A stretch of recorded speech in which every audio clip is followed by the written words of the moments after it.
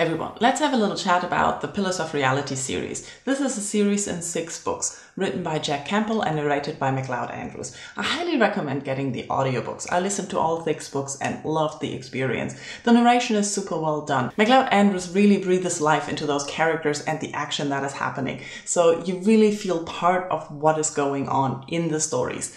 Now, the story, I don't really know where to put it. It's part fantasy. It also has sci-fi elements and steampunk elements. So we're just gonna leave it at that. In those six books, you have one story told that is separated or split up into six separate adventures that give us the way or lead us to the end of the story. In the first book, we meet the main characters, Sir Mage and Master Mechanic Mari, and learn about the world that the story is set in.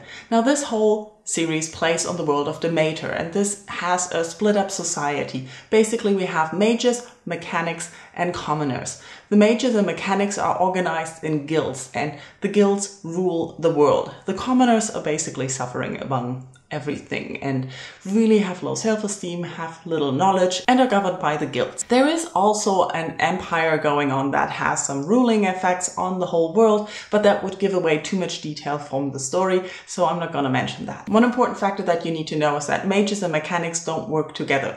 They are governed by separate guilds and the separate guilds follow separate rules and interests.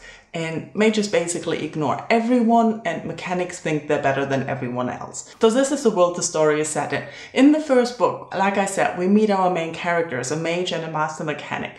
And traditionally they shouldn't even talk to each other, they shouldn't work together, but they have a situation that needs to be solved and they help each other. And this is what starts the whole series. Those two work together, develop a relationship and try to change the world at the end of the story. Now this is basically a story set all around changing the world, the society and making it more equal for everyone and working together and all of those things centered around those two opposing characters that find a way to work together and make things work for everyone. I highly recommend you check out this series. It has a lot of fun elements. You really get to like Sir Mage Alain and Master Mechanic Mari and their interactions, but you also get to know a lot more characters as the story evolves. You get to know a lot more about the world and the history of the world and how it came to be and where they are and what's the situation.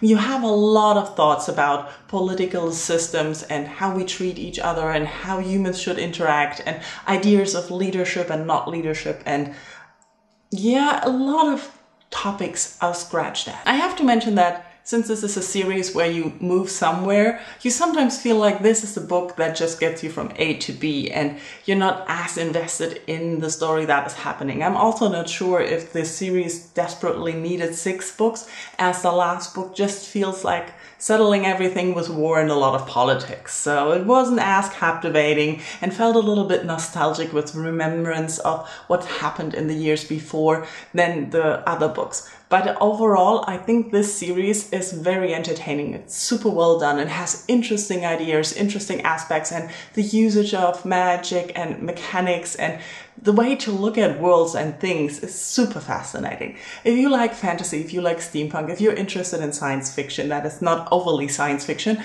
then I really recommend you check out this series and especially on audio.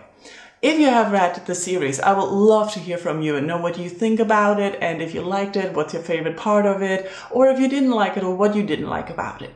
And yeah, thank you all for watching. Let's talk in comments. Bye bye.